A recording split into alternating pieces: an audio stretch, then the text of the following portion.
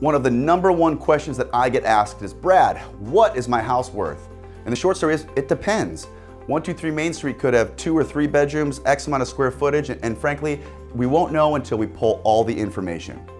The market metrics are gonna be one of the biggest indicators, and that's things like average days on the market, the median sale price, and other regional factors that are gonna affect the value of your home.